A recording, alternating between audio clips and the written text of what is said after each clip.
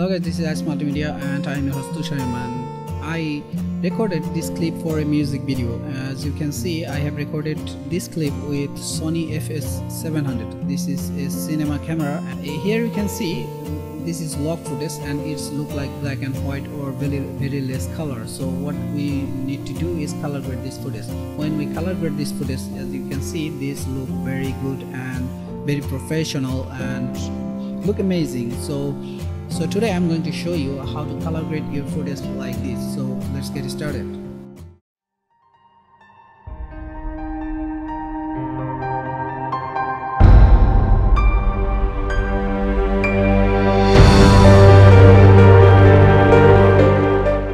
Hello guys, this is ICE Media and I'm your host Sharma. Today I will show you how to color grade a log footage. First took your footage to the timeline, then select your footage and this footage is for a music video so I don't need audio part so unlink this part and hit delete button from your keyboard. Now your audio should be gone. Now here is a fresh clip. So now let's play it.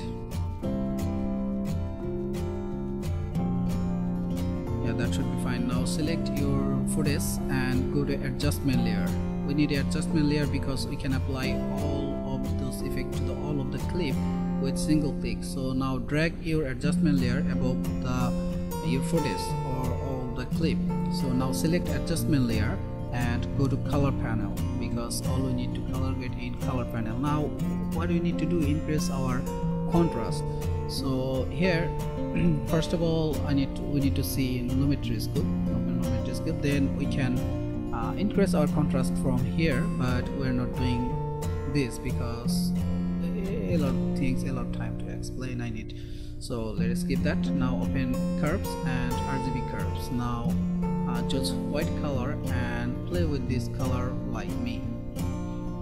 Uh, follow that lumetri scope that's going to change because if we go higher than 100% it will be solid white and this color is below zero it would be uh, solid black. So we cannot see anything there. So what log footage try to do is just increase our dynamic range by compressing their color.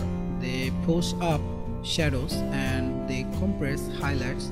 So it's look like black and white film and it's took as much as dynamic range keep as possible. So here we have to play with RGB curves like this. Uh, anyway this is basic correction. Uh, I need to do a lot of correction a lot of uh, individual color we do uh, basically when we edit a music video or a uh, drama or short film or something like this. But uh, I wanted to show you very basic okay? So here our RGB curves is done. Now we will work with color wheel so mid-tone is generally our skin tone it uh, it need to be a little bit warmer. And highlights is uh, white. So let's opposite uh, blue. And shadow also a little bit blue. So it will give you a color uh, contrast. So we also you also can uh, shadow a little bit uh, pull down. And mid-tone little bit pull up. It will make more contrast more color contrast and black and white contrast. Your uh, video will be look uh, very uh, realistic and very vivid color uh, high saturated color. You can make it more saturated but that will do for the leg. And you also can play with correction color wheel color temperature or something like that but we don't need to do it for now. So we leave it here. So this is our uh, basic correction. You also play with different uh, settings but for now this will do. Now let's a little bit down the shadow. It will give some more uh, contrast. You know we need high contrast and all color will be very good. And you can see this footage is very good than before. So we just made few difference. You need to learn a lot about color uh, but this will do for the next time. So let's export our uh, video for now. And yeah we can uh, set default YouTube setup and recommended 8 Mbps. So this was uh, so today was this tutorial. So i will show you in the next time. So take care of yourself